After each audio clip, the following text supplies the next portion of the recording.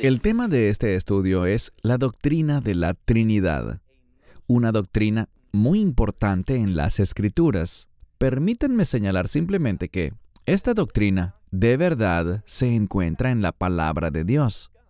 Vamos a examinar algunas escrituras que nos enseñan, sin lugar a dudas, que la Trinidad es una doctrina basada en la Biblia. Esta doctrina explica muchas de las cosas que vemos en las escrituras. Pero antes de abrir la palabra de Dios y comenzar a examinar el texto bíblico que demuestra que la Trinidad es verdadera, antes de que hagamos eso, quisiera advertirles algo a los que rechazan la divinidad del Mesías. Es necesario aprender que hay una estrecha relación entre la divinidad del Mesías, entre el hecho de que Él es Dios, y la doctrina de la Trinidad. En realidad, la Trinidad es lo que explica la divinidad del Mesías. Y es así que podemos afirmar que hay un solo Dios al decir también que creemos en tres personas, Dios Padre, Dios Hijo y Dios Espíritu Santo. Tres personas. Y cuando digo personas, me refiero al hecho de que Dios tiene una personalidad. Dios Padre tiene una, Dios Hijo tiene otra y Dios Espíritu Santo tiene otra. No son lo mismo, son uno, pero hay tres personalidades distintas dentro de lo que los teólogos llaman la deidad. Ahora, esto puede sonar confuso para algunos, pero cuando examinemos las escrituras, veremos por qué la doctrina de la Trinidad es necesaria. Y hago hincapié en la importancia de esto, porque si la rechazas, entonces tus pecados no han sido perdonados todavía estás perdido y muerto espiritualmente en transgresiones, iniquidad y pecado. Y no debes tener la expectativa de ser bienvenido al reino de Dios, ya que no lo serás. ¿Por qué? Porque si rechazas la divinidad del Mesías, la Trinidad, entonces no has aceptado al Mesías bíblico. Has rechazado su identidad verdadera no lo has recibido como debes hacerlo. Es algo similar a lo que pasa en el Islam. En el Corán hay alguien llamado Jesús, pero no es el Jesús bíblico. No está en consonancia con lo que la Biblia, la verdad de Dios, nos dice, con lo que la Biblia nos enseña sobre él.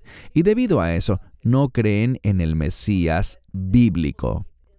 Y aquel que rechaza la divinidad del Mesías no ha aceptado a Yeshua, es decir, a Jesús de Nazaret, según quien Él es realmente. Antes de comenzar a examinar estos textos bíblicos que, de hecho, prueban que la doctrina de la Trinidad es correcta, quiero que hagamos algo. Toma tu Biblia y busca Primera de Juan, capítulo 4. Primera de Juan, capítulo 4, y empezaremos con el verso 2.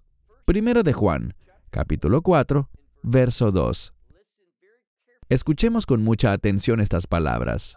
Y por cierto, leeré desde el Textus Receptus, que está todo en griego. Voy a traducir desde el griego para que podamos entender.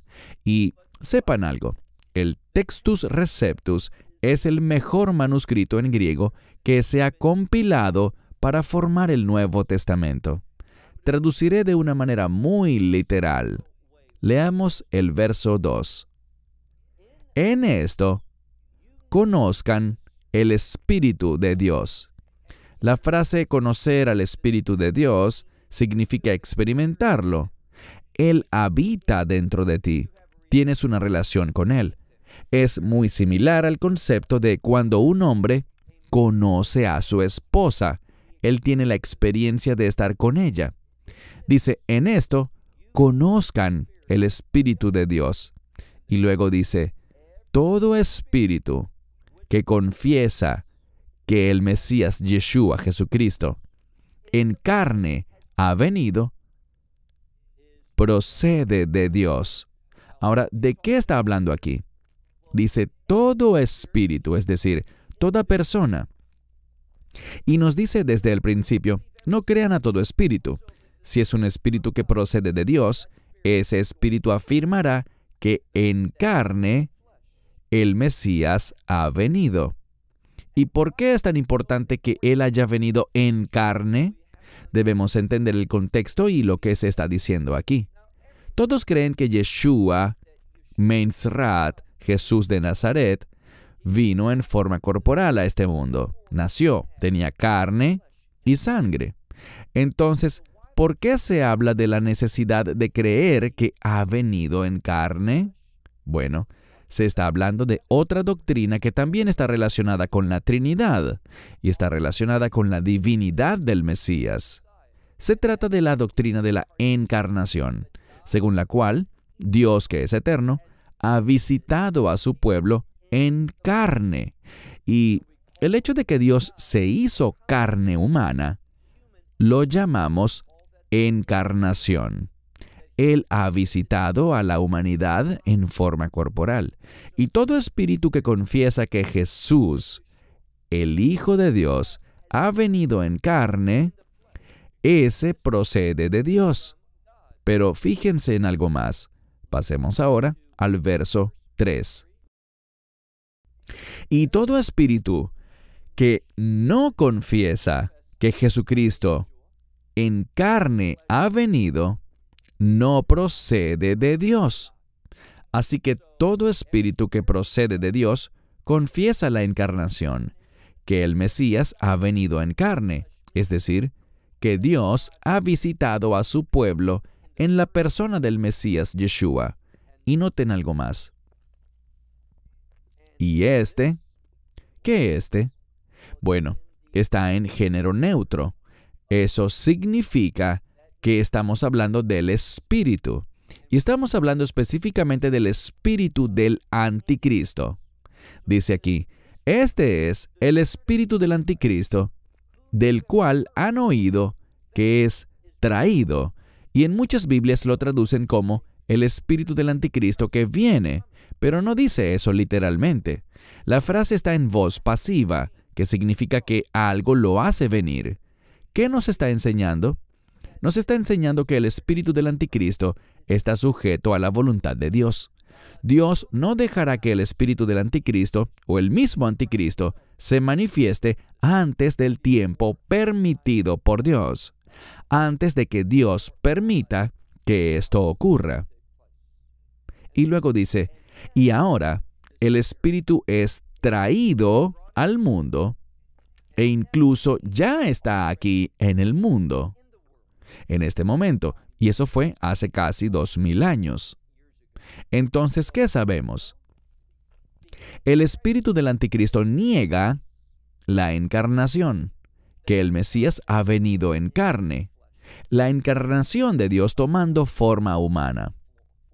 Así que cualquiera que niegue la encarnación, es decir, la divinidad del Mesías, el que niegue la Trinidad no procede del Espíritu de Dios. El Espíritu de Dios no está en esa persona. ¿Qué espíritu está en esa persona?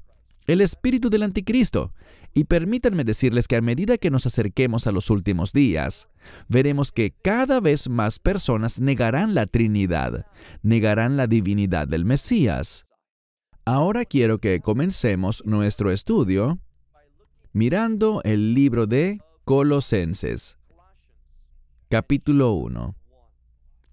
Libro de Colosenses, capítulo 1, que nos revela una verdad muy importante. Sabemos algo. En el libro de Génesis dice lo siguiente: Bereshit bara Elohim et hashamayim viet haaretz, que significa en el principio Dios creó los cielos y la tierra. Nadie que se considere creyente, nadie que tenga fe en el Mesías, estaría en desacuerdo con eso. Todos creen lo que dice Génesis 1.1, que Dios creó los cielos y la tierra. Pero encontramos que Pablo es más específico. Él nos dice algo muy importante, y es lo siguiente. Ve conmigo al libro de Colosenses, capítulo 1. libro de Colosenses capítulo 1, donde veremos los versos del 15 al 17. Colosenses 1, 15 al 17. Está hablando del Mesías, que es la imagen del Dios invisible. Esta palabra imagen es el término griego eikon y significa algo que hace una representación perfecta. Es algo que es exacto. Así que cuando dice que Jesús es el ícono de Dios, del Dios invisible, el Mesías lo representa perfectamente. También nos dice que es el primogénito de toda creación. ¿A qué se refiere con primogénito? A la herencia. Él heredará toda la creación. Y también dice que, porque en Él, ¿en quién? En Yeshua, en Jesucristo. En Él, todas las cosas fueron creadas, cosas que están en el cielo, cosas que están en la tierra, cosas que son visibles y cosas que son invisibles, ya sea que hablemos de tronos o dominios. Viene de la palabra Señor, es aquello que gobierna sobre algo.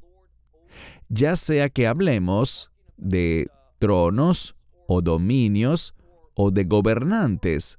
Y luego está la palabra autoridad. Todas las cosas, y escuchen esto, todas las cosas a través de Él y para Él fueron creadas. Y Él es antes de todas las cosas, es decir, Él no fue creado, Él está antes de todas las cosas y todas las cosas en Él. Esto es muy importante. Esta última parte responde a una pregunta científica muy importante. Dice, y en Él todas las cosas subsisten es decir, son sostenidas en su conjunto. Sabemos que podemos levantar cosas, puedes levantar un libro, que está hecho de diferentes sustancias. Al examinarlo, vemos que esta parte es de cuero y puedes averiguar de qué está compuesto el cuero, es decir, la estructura molecular del cuero, de los diferentes elementos. Pero aquí está lo que no se sabe. ¿Qué los mantiene cohesionados? Así como hay gravedad, tiene que haber algo que mantenga la cohesión de las cosas. Y no sabemos qué es eso. Bueno, Pablo sí lo sabía, es el Mesías. No solo es el creador de todas las cosas, sino que sostiene todas las cosas. Todas las cosas subsisten en Él, es decir, tienen su existencia en Él. Así que esto nos enseña algo. El Mesías fue el que en realidad creó cuando dice, en el principio Dios creó los cielos y la tierra, el Dios del que estamos hablando no es Dios Padre, sino Dios Hijo. Eso es muy importante y revisemos algo más. Vamos al verso 19 del primer capítulo de Colosenses. Porque en él era del agrado, del agrado de quién? De Dios. En él agradó a Dios que toda la plenitud, toda la plenitud de quién? De Dios habite. Compartí este versículo con alguien no hace mucho y me dijo, ahí está, tú estás interpretando algo, supones algo que la Biblia no dice, crees que en él está la plenitud de la divinidad, pero la Biblia no dice eso en ese texto. Bueno, tiene razón, no lo dice, pero la razón por la que lo digo es porque sé lo que dice el capítulo 2. Leamos ahora en el mismo libro de Colosenses, el capítulo 2, versículo 9. Lo que él me dijo, en cierto modo, era correcto. En ese verso no lo decía, pero yo le agregué eso porque sé lo que dice el capítulo 2 y él no lo sabía. Observen lo que dice el capítulo 2, porque en él habita toda la plenitud de qué? De la deidad. Ahora, la palabra deidad aquí está compuesta por la palabra griega teos, Dios, pero también contiene otra palabra. Y a menudo traducimos esta palabra en relación a la divinidad de Dios. Pero también podemos traducirla como la deidad, la plenitud de Dios, la deidad misma habita en Él. Así que esto nos enseña algo muy significativo, que en Él, en Yeshua, en Jesús de Nazaret, habita la plenitud de Dios. No hay otra forma de entender Colosenses, capítulo 2, verso 9. Y esto explica lo que Pablo quiso decir anteriormente en Colosenses, capítulo 1, verso 19. En el Mesías Yeshua habita la divinidad misma, la plenitud de la divinidad de Dios habita. Ahora, veamos otro pasaje de las Escrituras que trata sobre Dios y el Mesías, y cómo ellos dos son uno, o tres en uno y uno en tres. Pasemos ahora al libro de Génesis. Hace un momento hice referencia a Génesis 1.1. Pero ahora quiero que veamos Génesis 1.26. Génesis capítulo 1, verso 26, donde dice, Y Dios dijo, Hagamos al hombre a nuestra imagen, conforme a nuestra semejanza. ¿A quiénes se refiere la palabra nuestra imagen o nuestra semejanza? ¿De quiénes está hablando Dios cuando dice, hagamos al hombre a nuestra imagen y a nuestra semejanza? Bueno, algunos dirían que está hablando del consejo, el consejo divino en el cielo, con Dios. Pero no, está hablando de la Trinidad. ¿Y cómo sabemos eso? Recuerden lo que dice el verso 26. Dios está hablando y dice, hagamos al hombre a nuestra imagen y conforme a nuestra semejanza. Pero fíjense lo que dice el verso 27. Dios creó al hombre. Entonces, Dios creó al hombre. ¿Cómo? Ahora viene un singular, a su imagen, a imagen de Dios, no a imagen de algún consejo celestial, sino que dice, a imagen de Dios lo creó. Varón y hembra Dios creó al hombre. Vemos entonces que el hombre no fue creado a imagen de un consejo celestial, sino a imagen de Dios mismo, y porque fuimos creados a imagen de Dios, a su semejanza, se supone que debemos ser como Él, debemos reflejar su carácter, reflejar su santidad, su justicia, su bondad, su gracia. Ese es el llamado que tiene la humanidad. Dios nos creó para actuar de esa manera inicialmente. El hombre tristemente eligió el pecado y todo eso se arruinó. Pero gracias a Dios, el Mesías lo restauró. Mas aquí vemos lo que dice. Hagamos al hombre a nuestra imagen. ¿A quiénes alude esa primera persona del plural? A Dios Padre, Dios Hijo y Dios Espíritu Santo. Es muy importante que notemos eso. Más adelante veremos otro verso que habla de esta misma verdad. Pero por ahora, pasemos a otro pasaje del Antiguo Testamento. Ve conmigo al libro de Isaías y busquemos en Isaías capítulo 7. Una de las cosas que debemos hacer al interpretar la palabra de Dios es prestar atención a todo lo que está escrito en su palabra.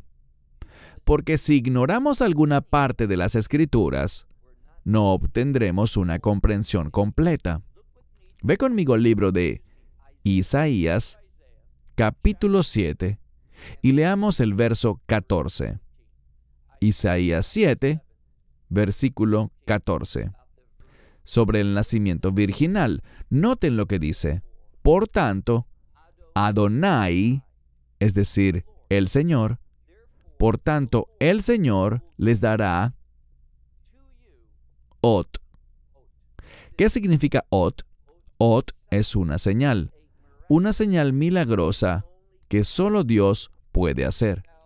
Al interpretar una palabra clave aquí, la palabra alma, algunos dirán que simplemente significa una joven mujer, pero eso no es cierto. Alma se refiere a una mujer justa y si no está casada, es una mujer virgen. De hecho, Alma es una mujer cuya virginidad ha sido comprobada, atestiguada por un procedimiento. Y por esto es que tenemos un contexto milagroso aquí. No solo se trata de una betulá, que significa una mujer que se asume que es virgen, y que no hay razón para pensar que no lo sea, pero aquí sale la palabra alma, que tiene un significado de mayor peso. Es una mujer cuya virginidad ha sido comprobada. Por tanto, dice aquí, el Señor les dará una señal He aquí que la alma, la virgen, ¿qué hará ella? Concebirá y dará a luz un hijo, y su nombre será llamado Emmanuel. ¿Qué es Emmanuel? Con nosotros Dios. Así que lo milagroso es que una virgen concebirá, y esto lo hará por medio del Espíritu Santo. Eso lo sabemos por otro pasaje. Y Dios, ese que viene al mundo a través de ella, es Emmanuel, Dios con nosotros. Literalmente es Dios con nosotros. Y esto no debería sorprendernos porque sabemos que la Escritura dice que Dios creó todas las cosas. Y sabemos que Yeshua es quien hizo eso. Pasemos a otro verso también de Isaías, capítulo 9, libro de Isaías, capítulo 9. En tu Biblia tal vez sea el verso 6. En hebreo es el verso 5. Dice aquí.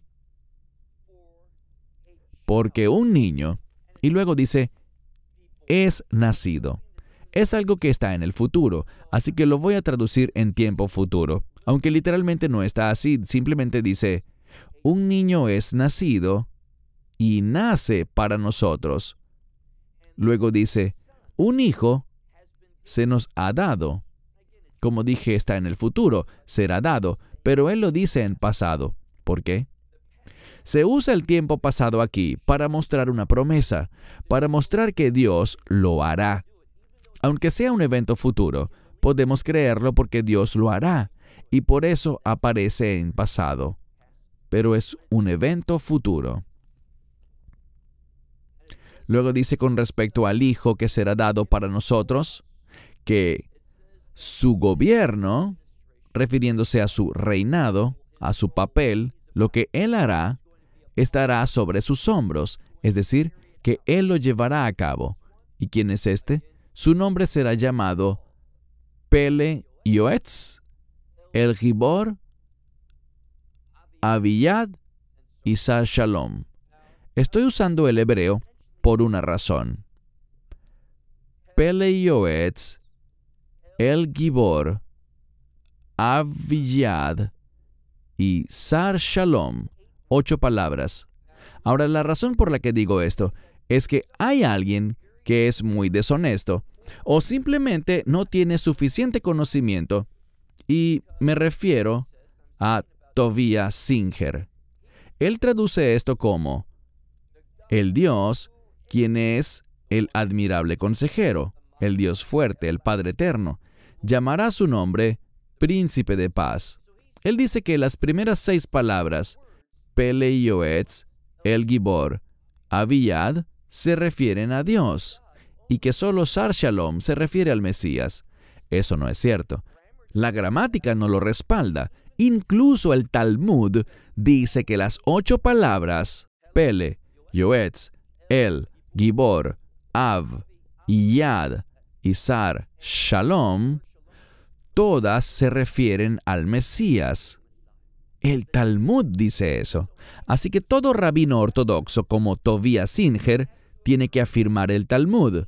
Para él es más importante tratar de justificar sus ideas que estar de acuerdo con el Talmud, el cual se supone que él se ha comprometido a apoyar y estar de acuerdo con la palabra de Dios misma. Así que es interesante ver aquí en el verso 5 verso 6 en tu Biblia, que este que es nacido, refiriéndose a Yeshua, es llamado el Dios fuerte y el Padre eterno.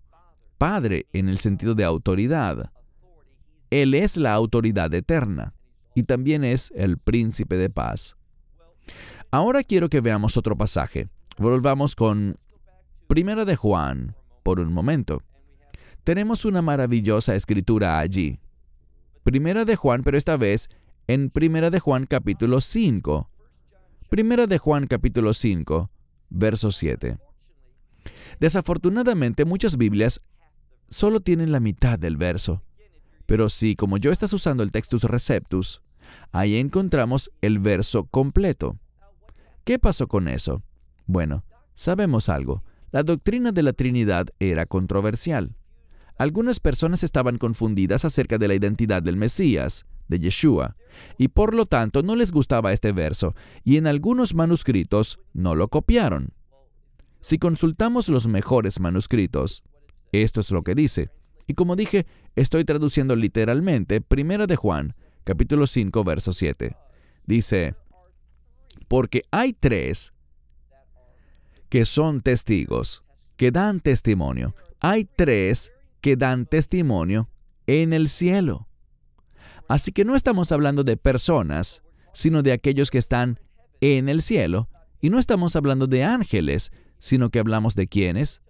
Aquí nos lo dice el Padre, el Verbo o la palabra que es el Hijo, como veremos más adelante. El Padre, el Verbo y el Espíritu Santo. Y luego observen lo que dice al final del verso. Y estos tres estos tres son uno. Dice que estos tres son uno y simplemente respalda lo que sabemos. Escucha Israel, el Señor nuestro Dios es uno. Es un solo Dios, no servimos ni adoramos a muchos dioses, le servimos a un Dios, Dios Padre, Dios Hijo y Dios Espíritu Santo, como dice aquí, estos tres son uno un versículo muy importante. Puedes revisar tu Biblia a ver si tiene el verso completo. Y ahora veamos otro pasaje. Ve conmigo a Filipenses. Este es otro verso que claramente atestigua la divinidad del Mesías. Ve conmigo al libro de Filipenses, capítulo 2, libro de Filipenses, capítulo 2, y Comenzaremos con el versículo 5. El versículo 5 de Filipenses 2 dice, Haya esto, y se refiere a esta forma de pensar, esta mentalidad, esta perspectiva. Haya esta mentalidad en ustedes, que hubo también en el Mesías Yeshua. ¿Y quién es el Mesías Yeshua? Quien en forma de Dios existe. Y Miren lo que sigue. Él no estimó aferrarse para ser igual a Dios. Es decir, Él no necesitó aferrarse a algo, agarrar algo, para ser igual a Dios. ¿Qué significa eso? Él es igual a Dios. ¿Por qué? Porque es Dios. A aquellos que dicen que la Biblia no enseña la divinidad del Mesías, quisiera compartirles algo. Hay muchos otros pasajes a los que podría recurrir que señalan claramente la divinidad del Mesías, y el propósito de la Trinidad es explicar la divinidad del Mesías, que los tres son uno.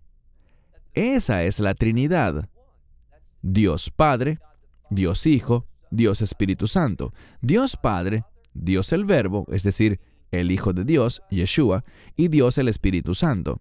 Pero noten lo que dice este pasaje de Filipenses capítulo 2, verso 5.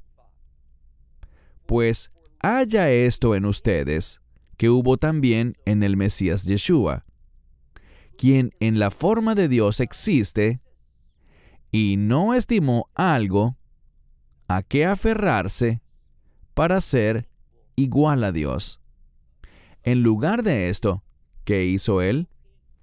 Asimismo se vació. Él se vació a sí mismo. y apareció o tomó la forma de siervo. Semejante a los hombres llegó a ser. Y luego dice, y se encontró en la apariencia de hombre. Habiéndose humillado a sí mismo, se humilló hasta la muerte y muerte de cruz. Ahora bien, su cuerpo es lo que se enfatiza aquí. No se puede decir que Dios murió en la cruz. Dios no puede morir. Aunque el Mesías es Dios, Dios no murió en la cruz. Fue el cuerpo humano el que murió en la cruz. Dios es eterno, así que Dios nunca murió. No crean que es herejía decir eso. Fue su carne, su cuerpo, su humanidad lo que murió. Pero su divinidad, ciertamente no. Ahora quiero leer algunas escrituras y lo haré rápido por cuestiones de tiempo. Pasemos a Mateo, capítulo 24. Evangelio de Mateo, capítulo 24, verso 36. Mateo 24, 36. Aquí veremos una declaración que el Mesías hizo con respecto, y presta mucha atención, con respecto al rapto. Él dijo esto del día y la hora, nadie sabe excepto el Padre, ni aun los ángeles, y en otra escritura dice, ni siquiera el Hijo. La gente quiere interpretar esto como, ah, acabas de demostrar algo.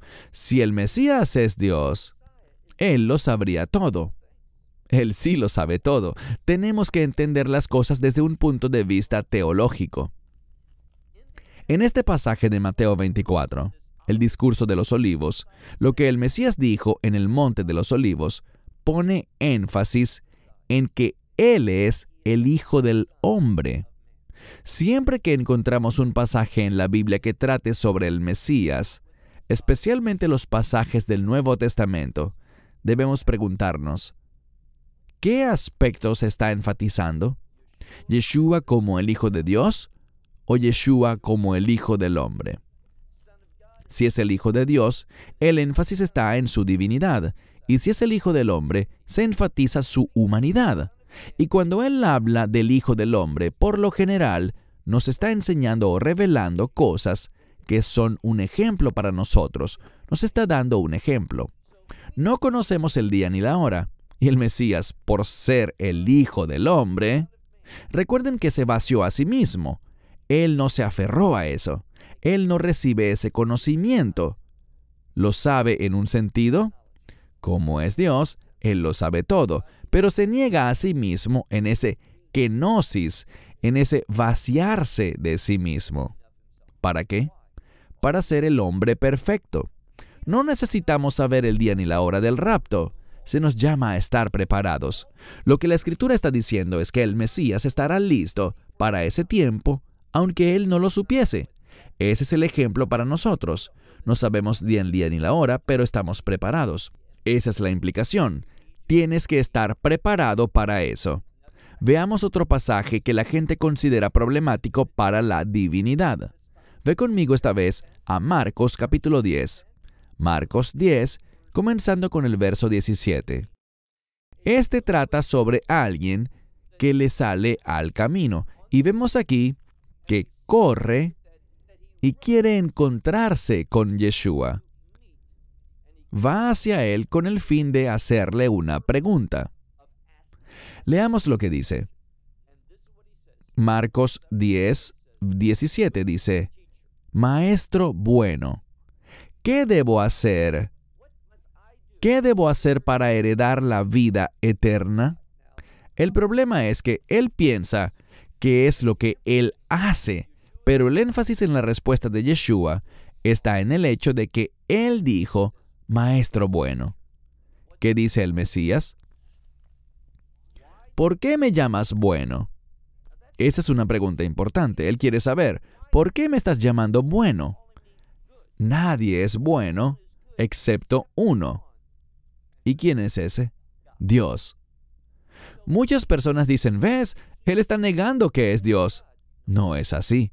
Lo que está diciendo es, quiero cuestionar a este joven.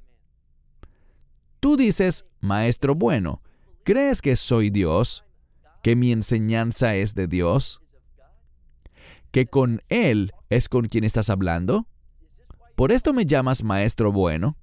La implicación es, si piensas que soy Dios, debes hacer todo lo que yo he dicho, debes someterte a ello y aceptarlo. Él simplemente lo estaba cuestionando. ¿Qué piensas tú que soy yo? ¿Me ves como Dios entre ustedes, Emmanuel, como dice Isaías 7:14? ¿O me ves de manera diferente? Y si es diferente, es incorrecto. Bien, veamos unos pasajes más. Creo que estamos aclarando el tema. Busquemos ahora el Evangelio de Juan. Leímos algunos versos de Primera de Juan, pero ahora veamos el Evangelio de Juan, capítulo 1. Evangelio de Juan, capítulo 1. Todos conocemos este pasaje en el capítulo 1, versículo 1. Dice, En el principio era el verbo.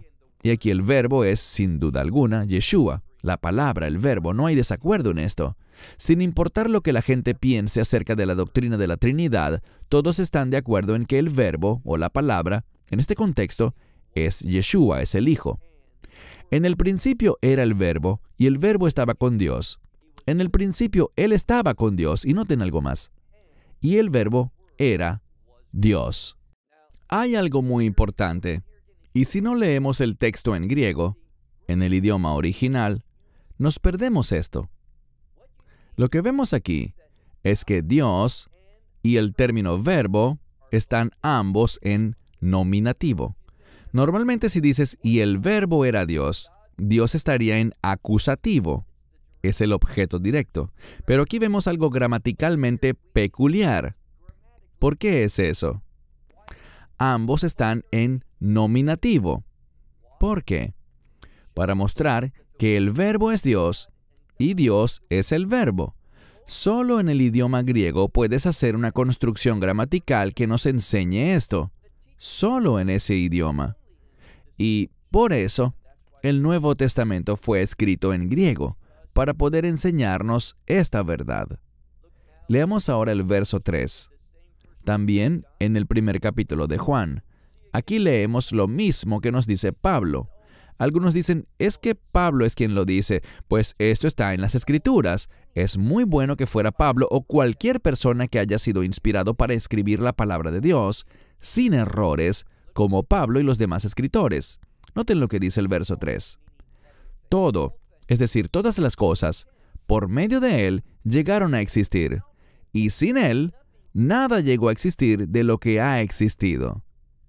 Y esto es cierto para las cosas en el pasado, presente y futuro. Todo. Oigan bien lo que la escritura está diciendo.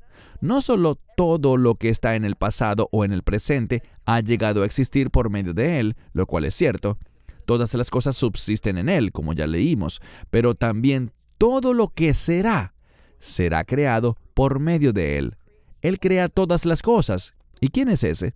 El Verbo, Yeshua. Él es el Dios creador.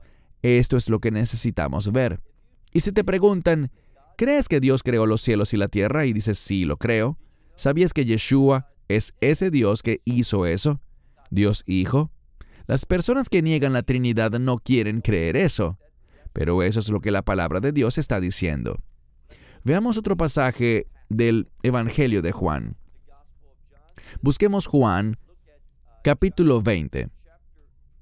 Juan capítulo 20, verso 28. Antes les daré un poco de contexto. Solo quiero leer un verso, pero quiero dar un buen preámbulo. Este pasaje tiene que ver con Tomás, el incrédulo Tomás, que dijo que él no creía que Yeshua realmente hubiera resucitado. ¿Recuerdan lo que dijo? A menos de que yo palpe, de que yo toque las manos y el costado y vea esos agujeros, esas marcas, no creeré. Bueno, he aquí que el Mesías vino y él pudo hacer exactamente eso, tocar, sentir esos lugares donde los clavos le atravesaron las palmas y donde la espada atravesó su costado. Él pudo verlo. ¿Y qué dijo? Bueno, leamos Juan 20, verso 28. Y Tomás, respondió y le dijo, es decir, a Yeshua, él le dijo, mi Señor y mi Dios. Ahora, noten que Yeshua no dijo, no me llamen Dios, no soy el Señor. No, él no dijo eso. Él dijo, bienaventurados los que no han visto y sin embargo creen. ¿Creen qué? Que Él es el Señor Dios. Eso es lo que revela la Biblia. Así que cualquiera que niegue la Trinidad, cualquiera que niegue la divinidad del Mesías, está confundido, no ha aceptado al Mesías bíblico y por lo tanto todavía está perdido en sus pecados y no tiene esperanza del reino de Dios. Veamos un último pasaje. Ve conmigo al libro de Apocalipsis. Libro de Apocalipsis, capítulo 1. Libro de Apocalipsis, capítulo 1. Nuevamente, necesito hacer un preámbulo. Sabemos que Juan repetidamente tomaba pasajes del Antiguo Testamento, es decir, pasajes de la Biblia hebrea o el Tenaj, lo que llamamos el Antiguo Testamento, escrituras hebreas, y algunas partes las incluyó en su libro. Y a menudo cambiaba el contexto. A veces los entrelazaba con otros pasajes o frases para enseñarnos algo. En fin, ve conmigo a Apocalipsis capítulo 1, verso 7, donde dice, He aquí, y no dice que viene, sino que es traído. Esto muestra la sumisión del Mesías a la voluntad de su Padre. Él está siendo traído en ese tiempo, no en su tiempo. Él siempre está en su misión, siempre está listo para obedecer lo que su Padre quiere y por eso se le llama el Hijo. Leamos de nuevo el verso 7. He aquí, Él es traído con las nubes. Si conocen la Biblia, esta idea de que el Mesías viene en las nubes, en el contexto original, no está hablando de su venida, está hablando de su regreso al anciano de días. Los invito a leer Daniel capítulo 7, versos 13 y 14. Esta cita es de allí. Uno que es como un hijo de hombre, será traído en las nubes ante el anciano de días. El anciano de días es Dios Padre. ¿Y qué hará este hijo de hombre? Heredará el reino, el honor y la gloria hasta el punto en que todas las personas, todas las lenguas, todas las naciones, todas las tribus lo adorarán. Y esto lo he dicho antes en otros mensajes, pero vale la pena repetirlo. La palabra de Dios es tan maravillosa, porque si ese texto se hubiese escrito en hebreo, y por cierto, el capítulo 7 de Daniel está en arameo, ¿por qué eso es importante? Porque en hebreo diríamos que todas esas personas, naciones, tribus y lenguas lo adorarán. Pero usaríamos la palabra laavod, adorar, y laavod también significa trabajar o servir en un sentido general, no necesariamente en el ámbito de la adoración. Así que si estuviera en hebreo, no diría necesariamente adorar. Podrías argumentar que se refiere a servir y no adorar, pero no está en hebreo. Hay una palabra diferente. P, lamed, het. Y en el idioma arameo, el modo en que se usa ese término, sobre todo en el libro de Daniel, siempre se refiere al servicio en el sentido de adoración. De modo que sabemos algo, que todos te adorarán. Todos los que están en el reino de Dios, todos doblarán la rodilla y confesarán con su boca que Yeshua es el Señor. Sigamos leyendo este pasaje de Apocalipsis 1.7 donde dice, He aquí, Él es traído con las nubes lo que significa que todos lo adorarán. Si no fuera Dios, no podrían adorarlo. Eso sería idolatría. También dice, y todo ojo le verá. ¿De dónde son esas palabras? Por el contexto, ese pasaje, todo ojo le verá, proviene de Isaías capítulo 52, verso 8. ¿Y cuál es el contexto? Que Dios vuelve. No Dios Hijo, no el Mesías, sino que vuelve la presencia de Dios a Sión. y allí dice que todo ojo le verá. Y ahora ese pasaje se aplica al Mesías, lo que nuevamente respalda que Él es Dios con nosotros. Todo ojo le verá.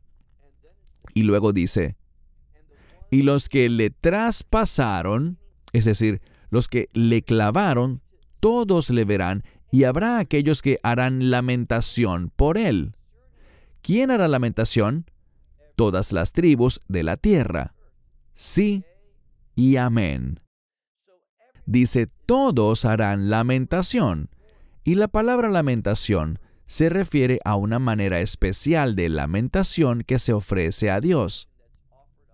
Así que, una y otra vez, vemos que en las Escrituras se hace referencia a que el Mesías es Dios, como el Hijo de Dios, y el Hijo de Dios es verdaderamente divino.